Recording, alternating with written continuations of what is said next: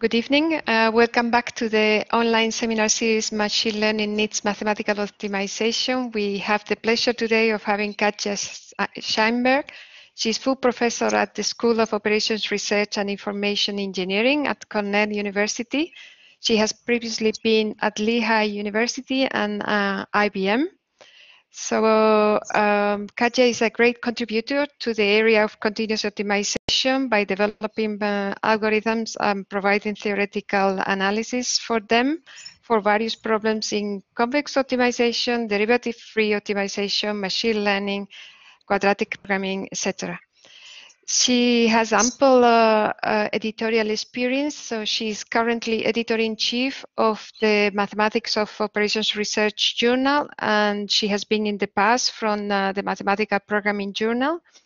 Her research is supported by um, uh, very well-known uh, research councils uh, such as NSF, but also by DARPA and um, other institutions. We are very pleased to have you today um, Katya, and the floor is yours for the audience so that you know it's uh, business as usual. We, we will have the questions towards the end, but uh, Katya has uh, agreed also to stop on the way and check uh, whether there are any questions.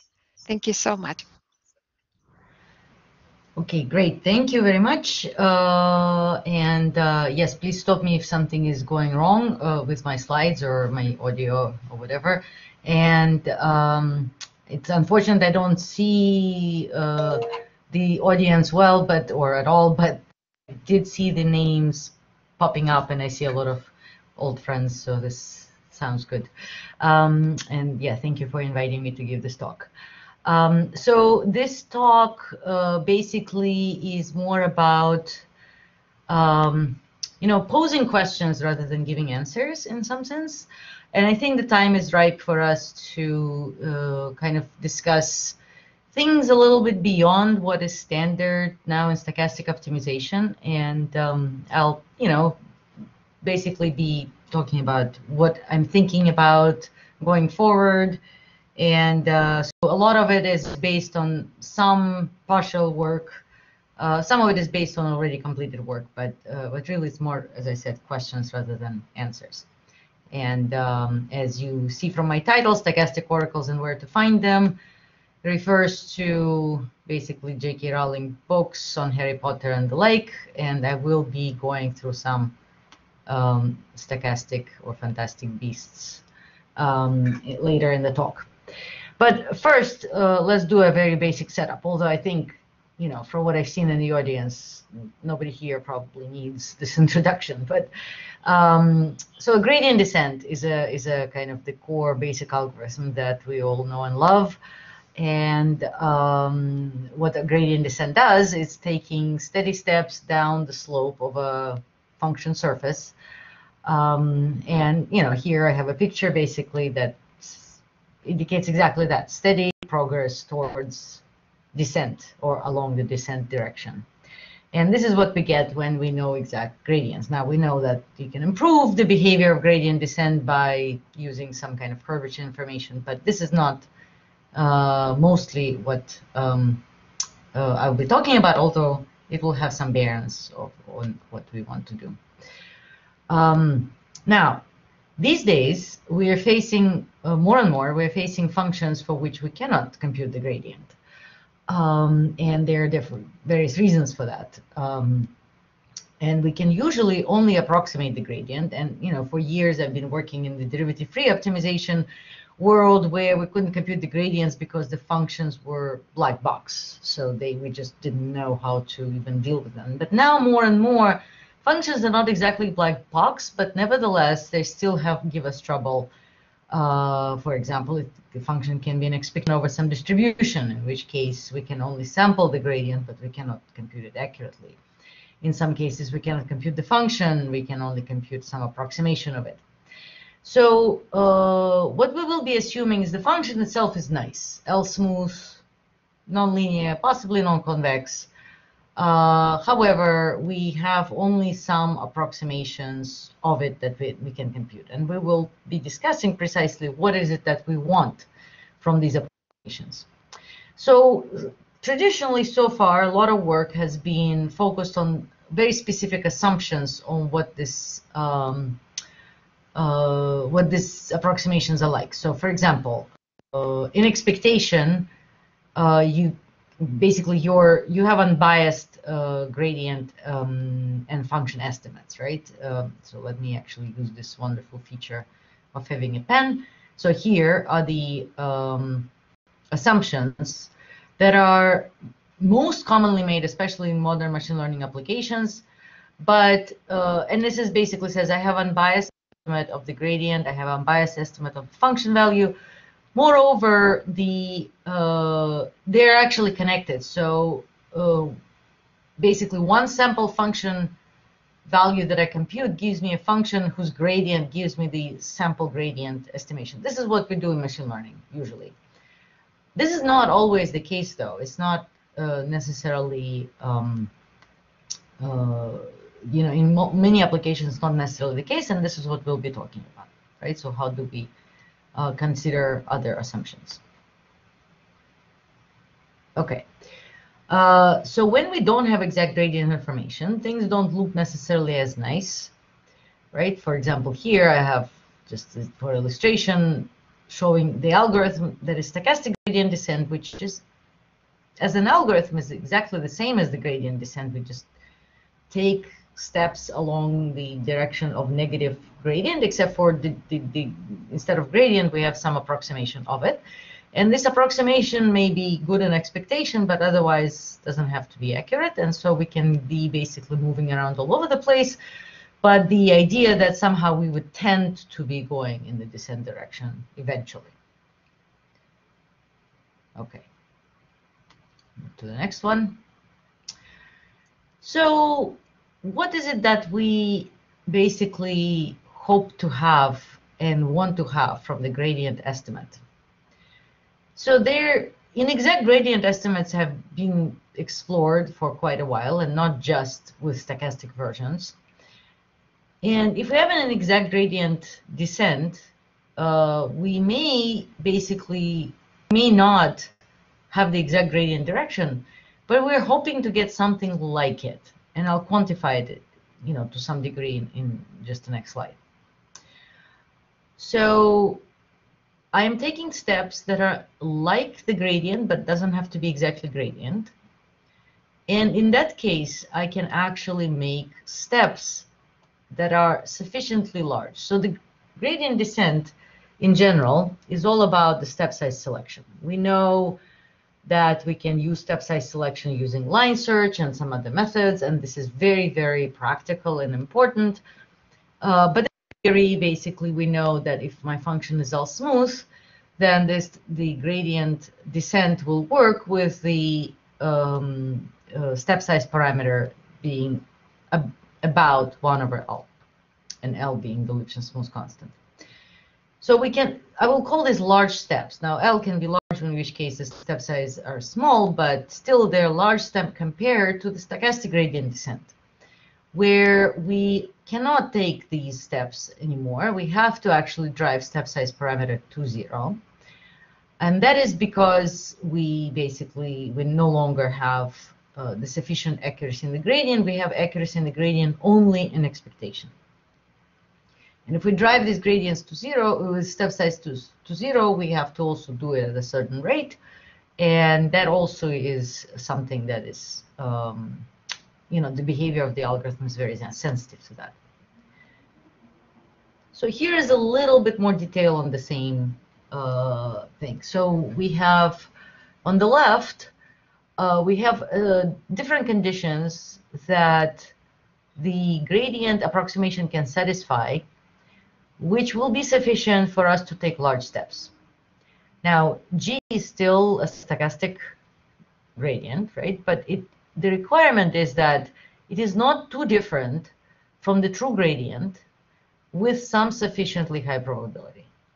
And not too different means that uh, it, it, varies. It depends where we are in the algorithm. What is the current size of the gradient, let's say.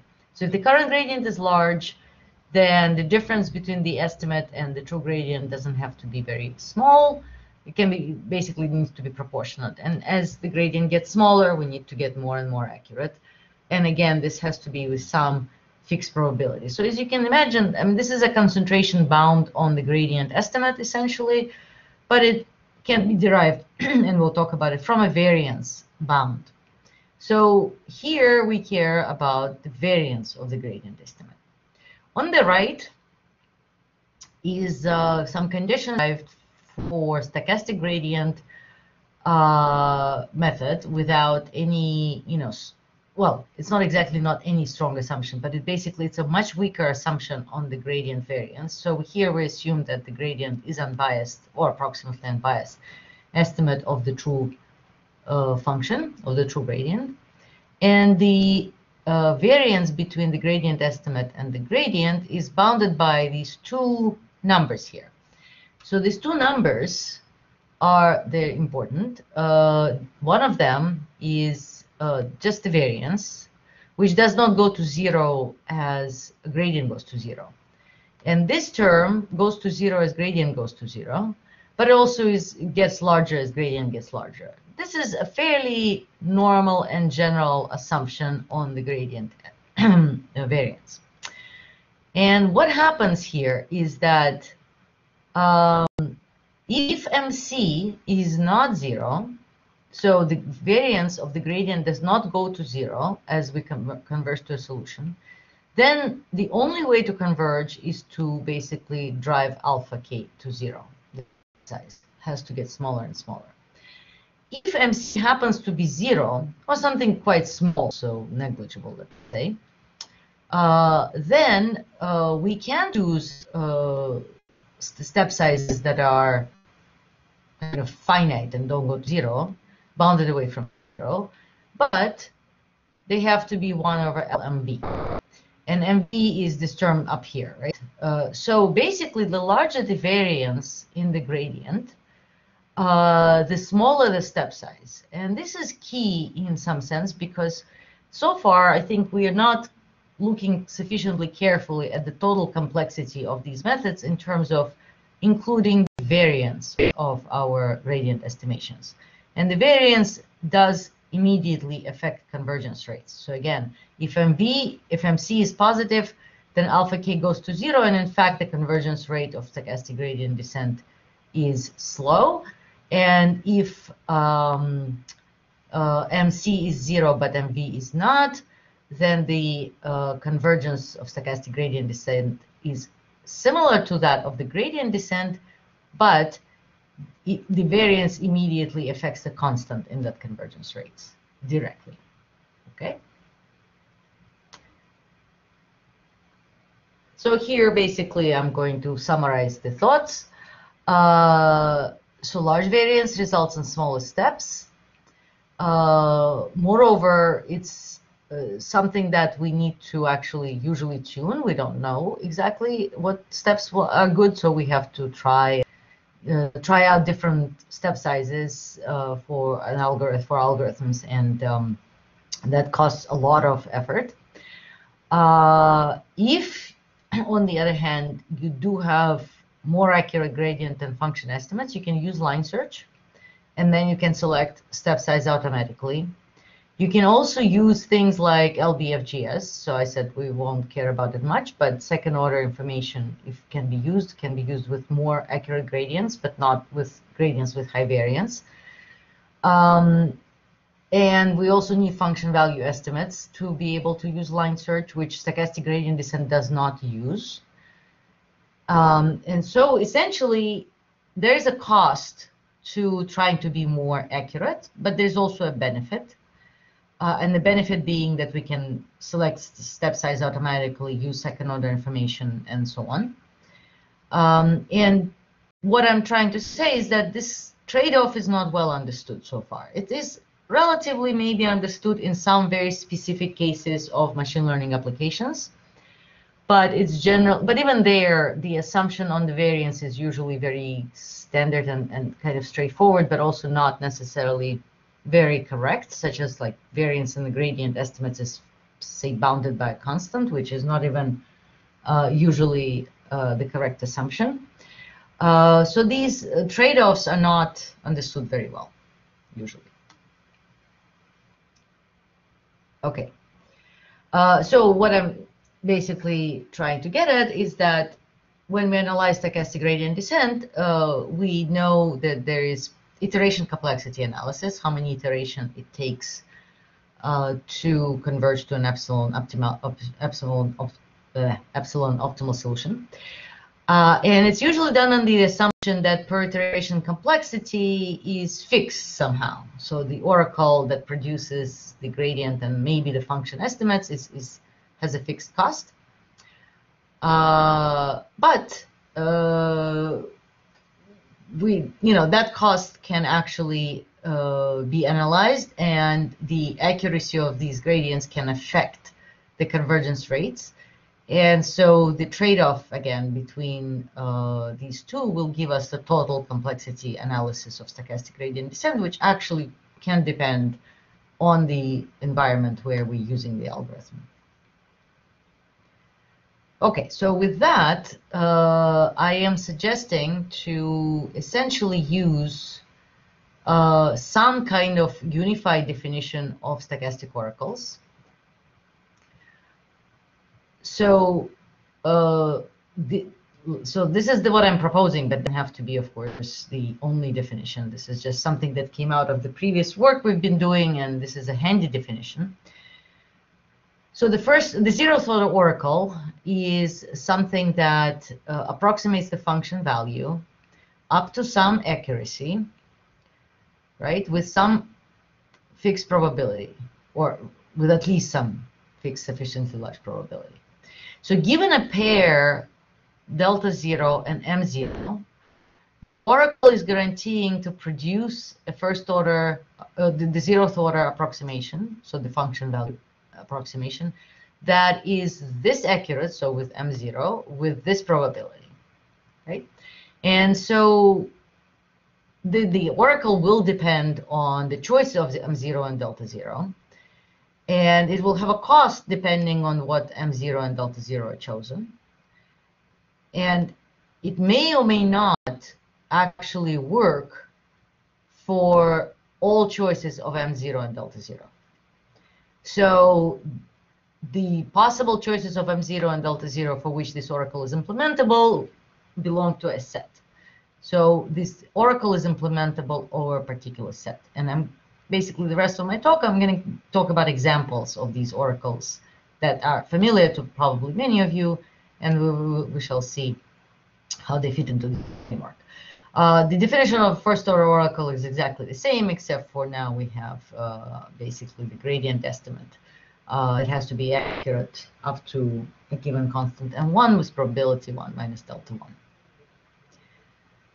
Okay, so here I uh, can basically pause for questions. let me maybe go back to the previous slide in case people have any questions about this particular. Yes, so okay. Emmanuel has a question and we are going to give him uh, uh, the rights to uh, unmute and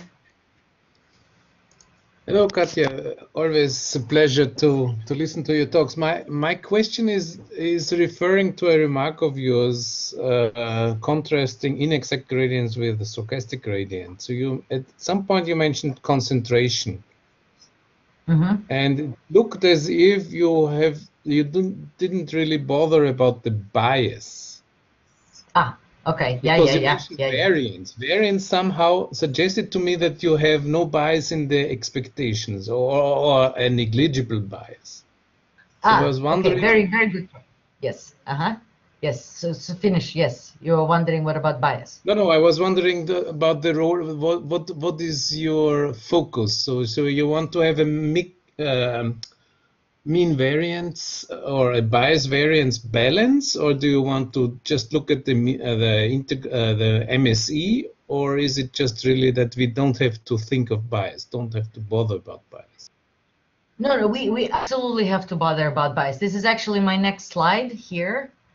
Uh, everyone is a little bit biased. so, so right. So what I'm trying to exactly. So I'm trying to incorporate into these definitions uh, the concept of a bias as well. So if I go back to uh, this um, definition of oracles, uh, it precisely includes everything in it, in, in, potentially. So if so, I'm, I'm talking about Oracle being implementable over a particular set of M zeros and delta zeros, right? So if I don't have a bias in my estimate, then in principle, I may be able to implement uh, this Oracle for arbitrarily small M0 because I can average more, for example, gradient or function estimates and get closer and closer to the true value because they're unbiased. So arbitrarily small m0 would work. But if I do have a bias, then m0 is bounded below by that bias. I cannot make it smaller. And that precisely would be incorporated in the definition of the oracle. And then the algorithmic analysis will depend on the smallest possible m0 or m1. And in fact, we did already analyze it in some um, methods that if you have a bias, essentially you just don't converge to the optimal solution because you can't, but you converge to a neighborhood of the optimal solution. And you can directly tie the neighborhood of convergence to the bias, basically. The larger the bias, the you know the bigger the neighborhood, and there's a direct formulas you can figure it out. I mean, basically figure out. Does that answer it? Thank you. Yes. Okay, great. Yes, but but I mean, this is exactly the motivation that we kind of want to make sure, because there is a lot of bias in many, or not necessarily very large. I mean, if there's very large bias, we don't know what to do. But uh, if the bias is somehow under control to some degree, but it's there, we do want to incorporate that concept into analysis of algorithms and um, we suggest to do it through the um, uh, yeah through basically you know analyzing the, those oracles okay so now uh, sorry are there more questions at this point okay if not uh, let's get to business in terms of um, actual oracles. So we start with the standard uh, empirical expected loss minimization rather expected loss minimization. We have um, the gradient uh, sorry the function phi is defined as expected value of the loss function.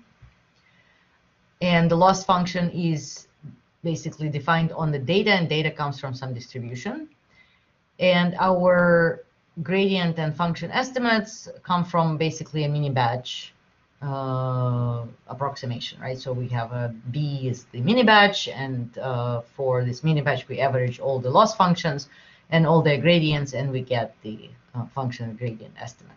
This is exactly what we do in, you know, very standard by now machine learning setting. And here comes our first fantastic beast. So each of these oracles, I'm going to try to assign a beast, and um, it's it's a very sort of per personal choices. So you may not agree with that, but uh, so this is a hippogriff, and if you're familiar with the Harry Potter series, hippogriffs are these kind of wonderful magical creatures um, that have to be approached with respect. If you approach them with respect and carefully, then you can get a lot out of them. But otherwise, you have to be careful because they can bite you. And that's essentially the um, how I would like to view the classical expected risk minimization. Okay, so uh, the next one is, oh, sorry, sorry, yes. Uh, now, how do we actually put it in the um, in the framework of the Oracle? I just suggested, well, this is pretty easy.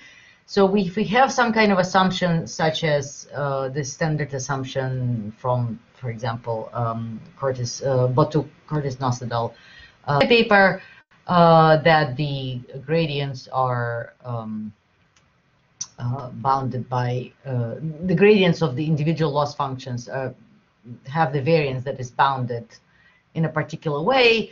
Uh, we know that by selecting a sufficiently large batch size, we can get exactly what we want. So here is the formula for the batch size, and it depends on m. and the probability delta. So if we still, if we given particular m and given particular delta, we can implement this oracle for any m and any delta just by picking the sufficiently large batch size. Here, precisely because we assume that the the we have unbiased estimates, we can implement this uh, oracle for arbitrarily small delta and for arbitrarily small m, and we can get this uh, accuracy. And the cost of the oracle also comes directly in terms of cost of number of samples that we need in the batch. So this is immediately available to us. Okay, so this is the first one.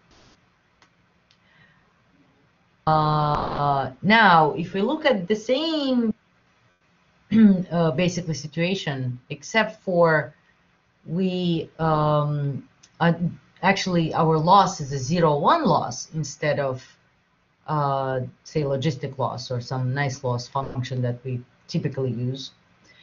Uh, the situation becomes bad, and in particular, we're not able to make this assumption anymore. So it's not really true that the gradient estimate is unbiased and, and even has a bounded variance. Uh, and so this is a, a, situation that is, you know, we kind of know that it happens in machine learning, but it happens in many other cases as well. Um, and it is something we should look at because the expected risk minimization, expected risk, is this function phi, which often is very nice and smooth and can have actually very good behavior. And this is ultimately what we want to optimize. When we're reporting, you know, numerical results of our machine learning algorithm, we are reporting the testing error, which is really the this phi function. But we never optimize phi. And the reason we don't optimize is because the gradient is completely useless. So if we look at the approximation of phi, that we get from just um, you know averaging things on a mini batch, the function that we have is very uh, is basically what's you know drawn here. Uh, it's the stepwise function. So while the function value approximation is actually fairly good, the uh, the gradient approximation is completely useless because the gradients are just zero or non-existent all the time. So the is quite useless, but the function value is not. So you do have an approximation of zeroth order, just not of the first order in this term. So it, it, this comes from the assumption of how we're computing the, the gradient approximation. It doesn't mean that we cannot approximate the gradients. It's just that the way we would do it by just taking the mini batch and averaging the gradient of the loss is wrong, right? And so this kind of oracle basically is going to be uh, a very bad beast. This is the basilisk, and you really don't want to deal with it. It's just basically kills you on sight. So we don't want to do things like this. Okay. So what can we do instead? Instead, we can use zeroth order information, which as we said is actually pretty good, to construct a different first order oracle. And the very straightforward way of doing this is finite differences. Right? We'll, we'll talk about why it may not be the ideal choice, but but let's start with that. So if you have finite difference approximation, so there's forward finite differences and central finite differences, and I assume that most people in the audience know what finite difference gradient approximation is. Um, so if my function values are uh, basically stochastic, but uh, not too far off. And so my assumption here is that somehow I've computed a bunch of uh, zeroth order approximations, zeroth order oracle calls, and they're all within some kind of error of the true function. Then the first order oracle that I'm going to get is going to be basically like this. In the case of the forward finite difference and in case of um, uh, the, the central finite difference is going to be here. Okay. Essentially, what I'm getting is that uh, so the sigma, which is the radius of sampling, has to be somehow balanced between the error that we have and what we're trying to achieve. So here I'm going to get a biased gradient estimate. It's never going to be unbiased. And this bias can be controlled by choosing sigma small enough, but not too small. So if you choose sigma very small, then this term is, first term is going to be small, but this term is going to explode. So I have to choose sigma that is basically in between. And really, it's just the order of square root of epsilon that is the best for the forward finite differences. And slightly different, it's like the third root of epsilon squared in the uh, central finite difference. And then immediately I have the uh, everything I need to know about my oracle. My oracle cost is n plus 1, uh, first order oracle cost is n plus 1 zeroth order oracle uh, calls. And the m for which I can implement this is essentially any m that is greater or equal than uh, this uh, lower bound, right? So I cannot implement for arbitrarily small m, but I can implement it for uh, m above this error bound, and the co and the, the probability is uh, of success is one. So delta is essentially zero because, well, actually that's not exactly true because it depends on the probability of uh, this condition holding here, right? How likely am I to be to have accurate oracle? Sorry, I'm erasing things here. Too. I mean, I'm covering things here too much, but you understand the idea. Okay. All right, so let's see how that actually works. Oh, sorry. Uh, the uh, just associated um, stochastic so, or fantastic beast that I chose for this is the owl because it is uh, a super reliable. It may not be the most powerful or the strongest or the fastest beast, but it's very reliable and you know what you're going to get with it. Okay, so let's see how it works. Uh, so here I'm actually going to look at a sigmoid uh, because sigmoid is a very interesting function and specifically it's used to approximate the step function that I showed you before. And the step function, as I said, like will have basically nasty gradients, I mean, totally useless, but it will give us good function approximations. So see here, I'm going to use sigmoid and uh, the sigmoid actually depends on the parameter here. So there's parameter A, which controls how steep is the sigmoid uh, step is. So as A gets bigger, it looks more and more like a step function. And when A is small, uh, things behave quite well. So what I'm plotting on the right, so on the left is the true kind of sigmoid for different A's. And what I'm plotting on the right is I chose A equal 1 and then I produced kind of the stochastic approximation. So instead of uh, the particular x, I uh, kind of compute the um, approximation of the sigmoid function by varying x as the normal distribution uh, around it. And uh, you can see that basically the function is still has a nice approximation and the gradient here in blue and in black are computed by two different means. One is by averaging the the actual gradient of the sigmoid, um, and uh, the black one is the finite for forward finite difference gradient approximation, and they're both you know approximate gradient pretty well. Okay, and maybe forward finite difference is a bit more noisy. But if I change my A and use a equal to 100, I think. Uh, yes. Uh, you can see the picture actually changes. The function itself is still has good approximation. And the forward finite difference has give us good, good approximation, but the gradient, blue gradient, which is the gradient approximation using averaging gradients is all over the place. And so that basically indicates that the variance is high, and when the variance is high, as we have seen and discussed, it affects the performance of the algorithms. So the algorithms may slow down. So all of a sudden, computing gradient approximation via forward finite differences may not be such a bad idea, even if there's an alternative to that. Okay, so why not then do forward finite difference all the time?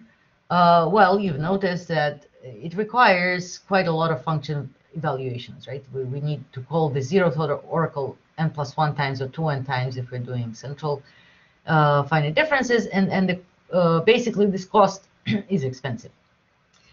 So can we compute these things at low costs by again using zeroth order information? Because uh, I'm claiming that zeroth order information sometimes can be better, uh, not just because the, the, the first order information is not available, but because even though it's available, it has high variance and therefore may slow down your algorithm.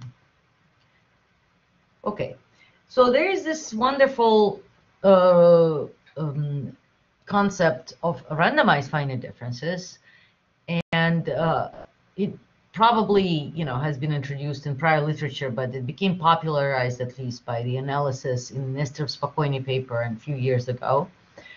Uh, and the idea is that instead of uh, doing finite difference in basically coordinate directions, I'm going to choose direction at random, maybe coming from a normal, uh, from the standard normal distribution or standard Gaussian. I'm going to direct uh, compute this direction at random, and I'm going to compute the directional derivative along this direction. And because this direction is random, I have myself a stochastic gradient. And this stochastic gradient is not exactly unbiased, but is a good approximation, almost unbiased approximation of the true gradient.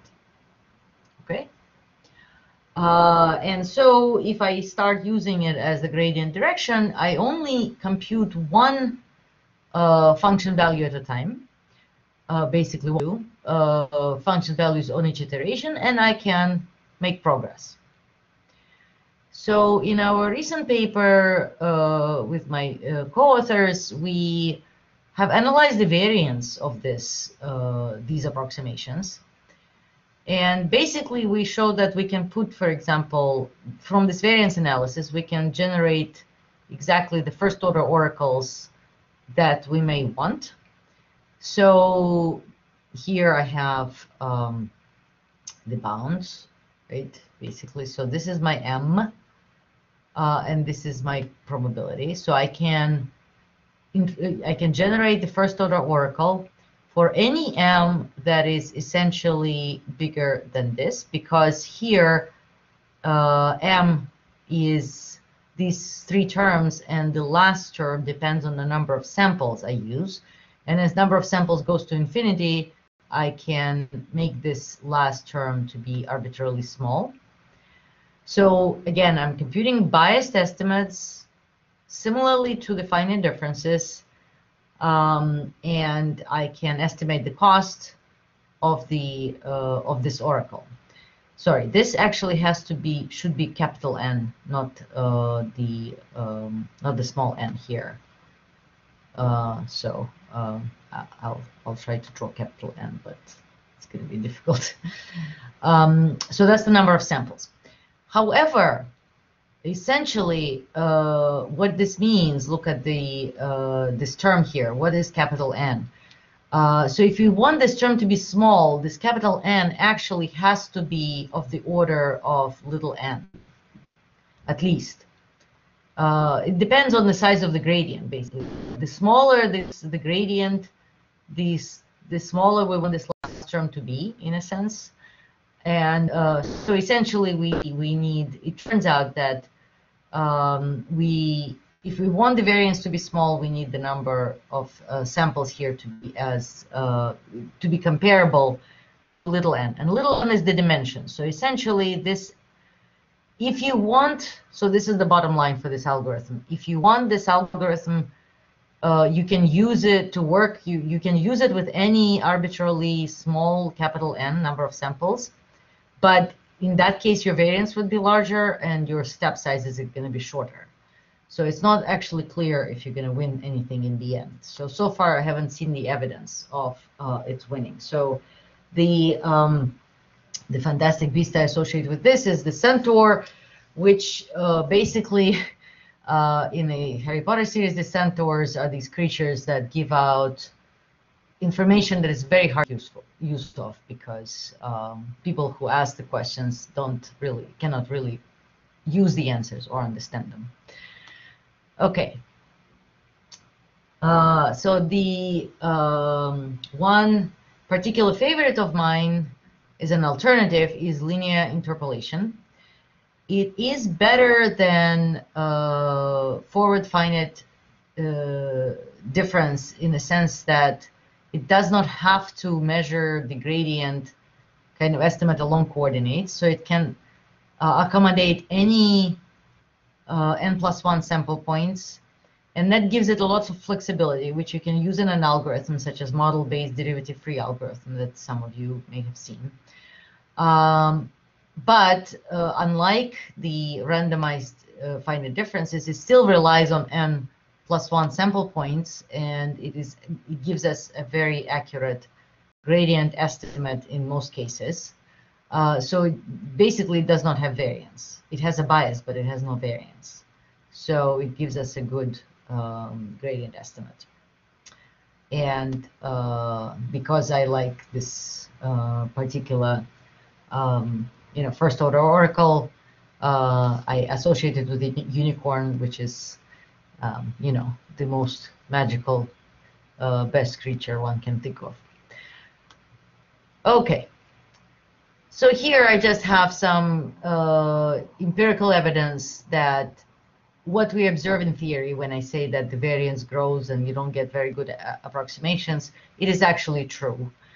Uh, so I don't want to spend too much time on this, but basically we've tried a very simple two-dimensional function and if you, what calls Gaussian smoothing and sphere smoothing is basically randomized finite difference with the direction generated random Gaussian or, or randomly on a unit sphere.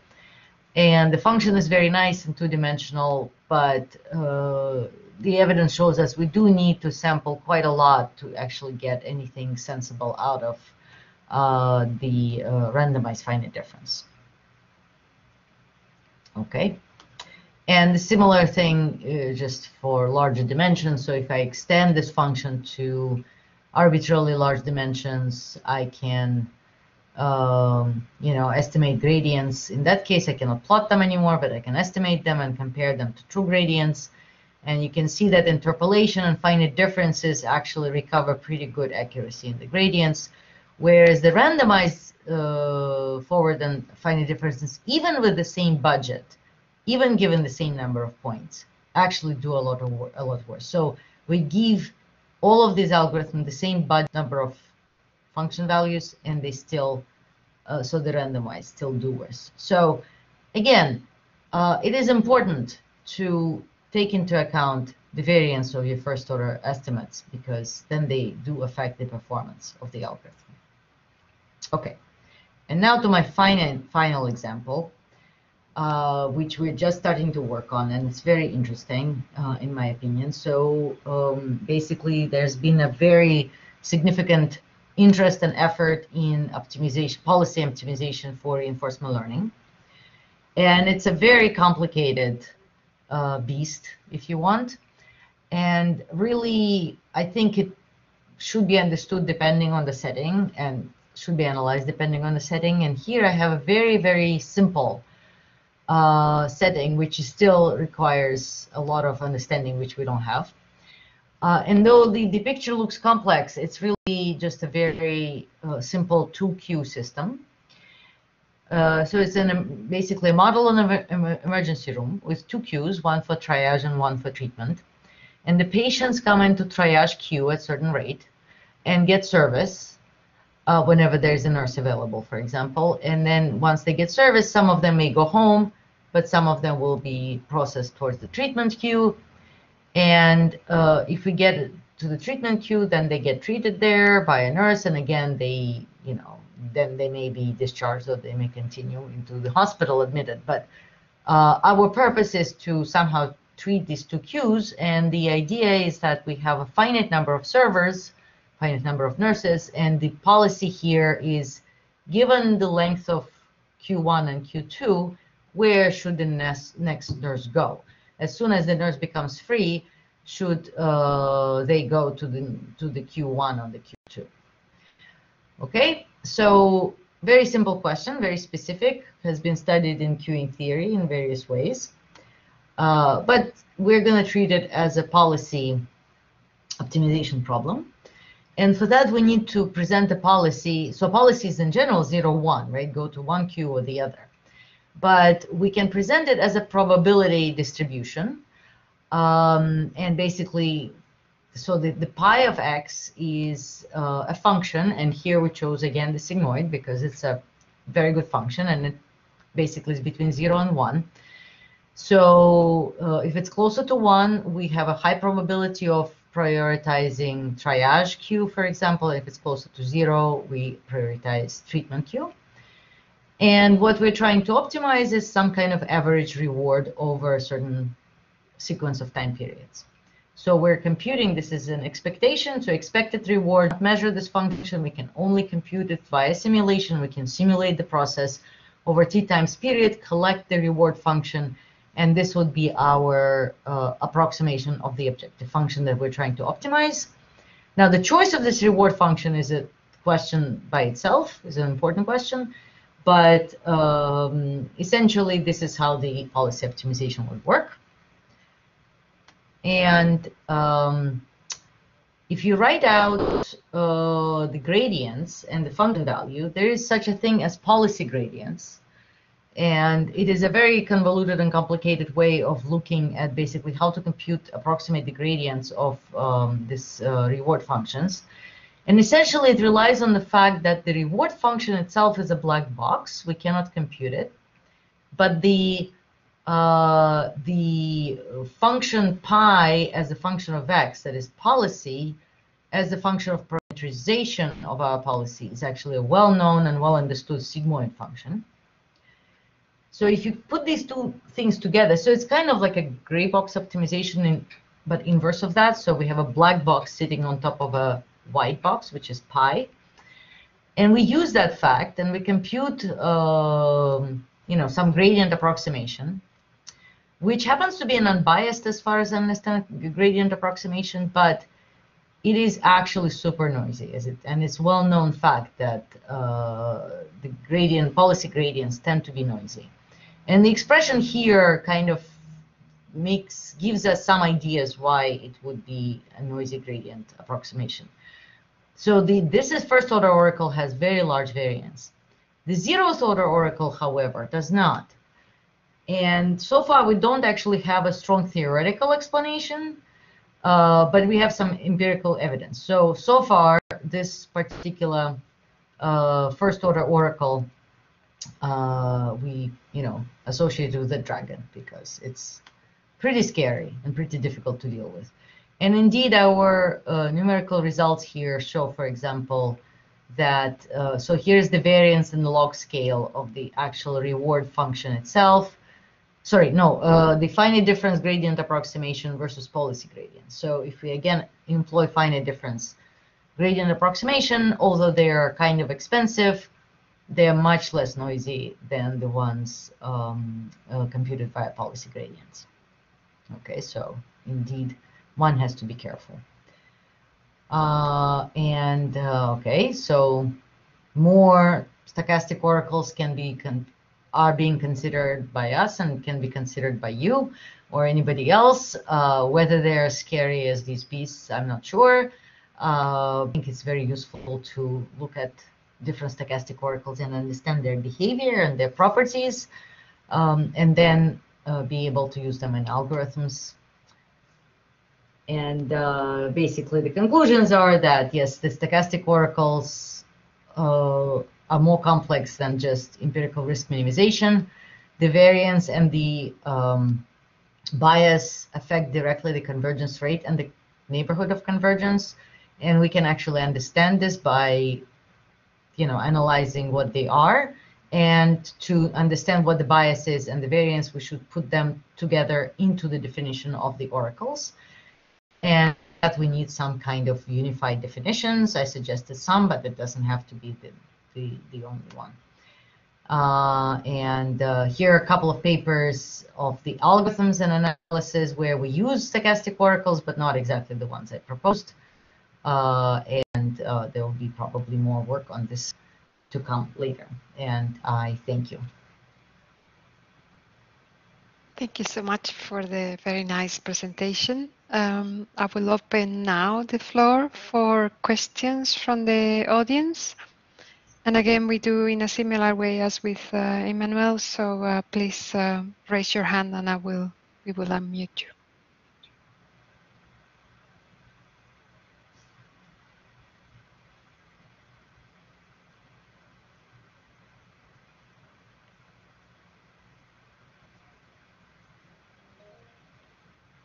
Yes, so we have a question from uh, Nagisa.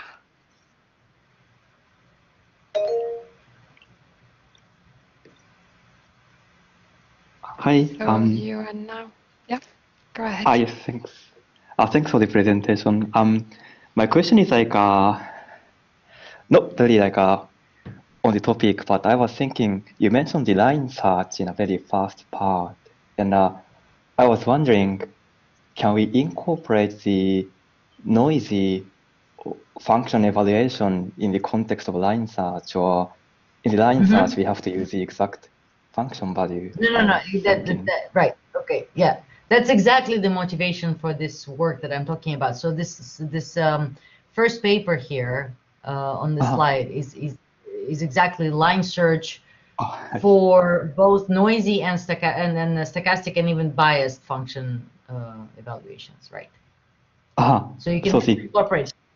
Mhm. uh-huh. Yes. So the gradient, like a step size, step direction can be noisy and like, and uh, Right. kind of, Yes. uh-huh, Yes. that's. So both the don't know, gradient and function, both the gradient function values are noisy. Uh, Uh-huh. And what you'll see is that the gradient actually can be more noisy than the function values. The function values can kind of carry that burden, it, essentially because, um, yeah, I mean, the, the, the, right. So anyway, the, the function values have to be more accurate than the gradient. But Uh-huh.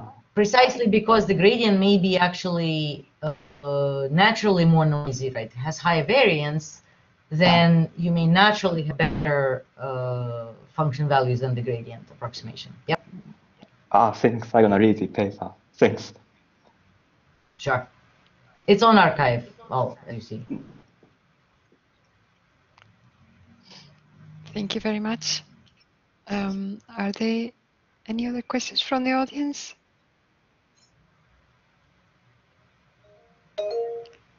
Yes, Leonardo.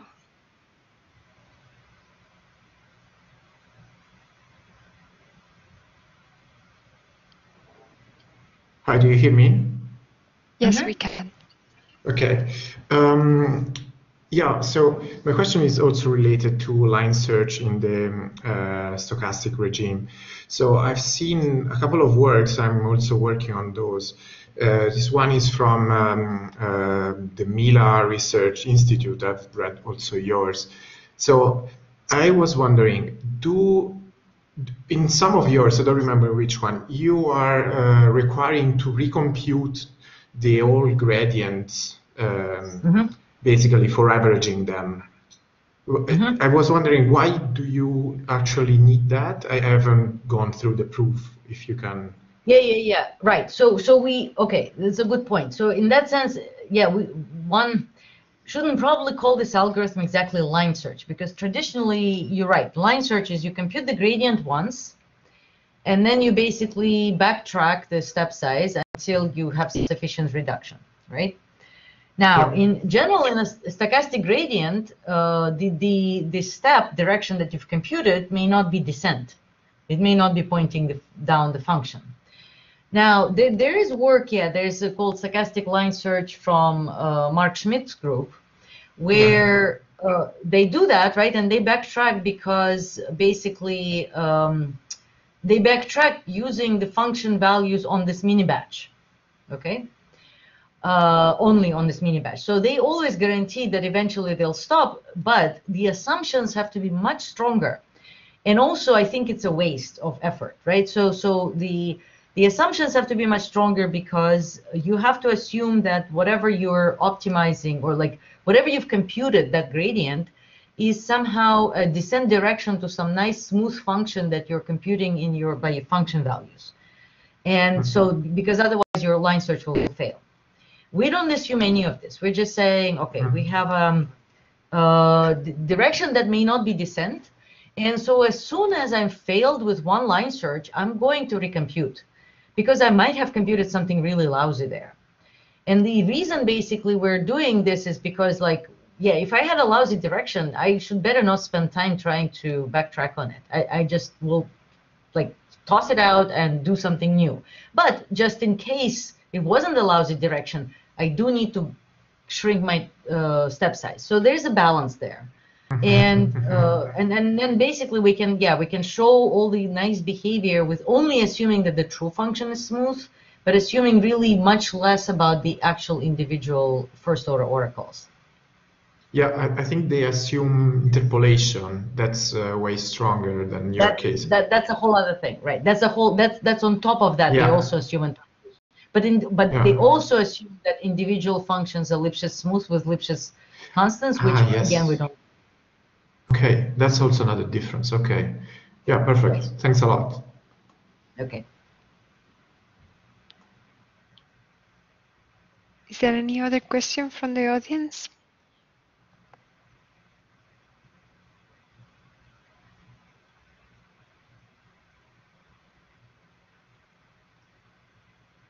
Yeah, I think probably um, that's it. Um, so, Katya, thank you very much for coming today. Um, you, you, you have gathered a lot of attention from a, a very uh, selective audience. It has been a, a pleasure to see uh, you here today. And for the audience, uh, thank you very much for coming today and then uh, see you uh, maybe next week. Yeah, so you know that we are running uh, this online seminar series until uh, December 20. Thank you. thank you very much Thank you very Thank much, you. Katya. It has been very, very interesting. Very beautiful. Yeah. thank you bye Bye.